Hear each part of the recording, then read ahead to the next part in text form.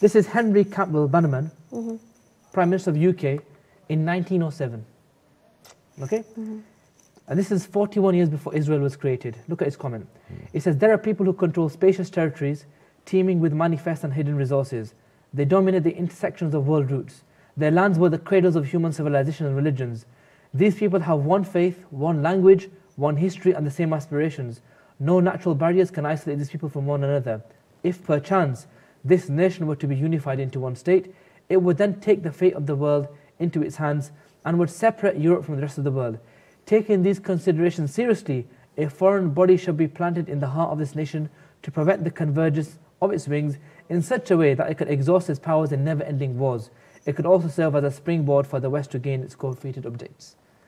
So here's, so here's the mm. Western world planning ahead. In 1907, yes, we had a Khilafah state there, but it was very weak and a lot of the territories had become occupied by then. Mm-hmm. So in that capacity, he's saying, look, we cannot afford to have a Khilafah state mm-hmm. once again as a powerful, powerful state, as a powerful power that can challenge our interests in the Middle East. So that's um, why they created Saudi Arabia. This is why they give a country exactly. to the south, yes. the first yes. country in the yes. in the world to be named after a family. Mm. How many other countries do we know mm. that are named Absolutely. after families? So these were given Jordanian, the mm. Jordanian king, mm. Uh, the Sharifs. They were given this uh, the power by the British.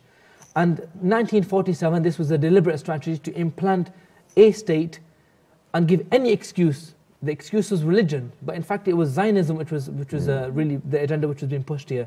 Ever since then, we can see, and see the consequences that uh, the Muslims in this region have suffered, whether it's the, the whole area of Palestine or the surrounding territories mm. under the brutal regimes of Saudi Arabia, Bahrain, Qatar, uh, Jordan, Syria, like we're seeing right this moment in time, where there's been dynasties of rules, mm. rule and the British and the Americans have had no objections until these people struck their interests and therefore these people are now not flavour of the month. They need to be removed and they need to start negotiating now with newer people, newer groups of people, newer factions who can become the ruling elite in these countries.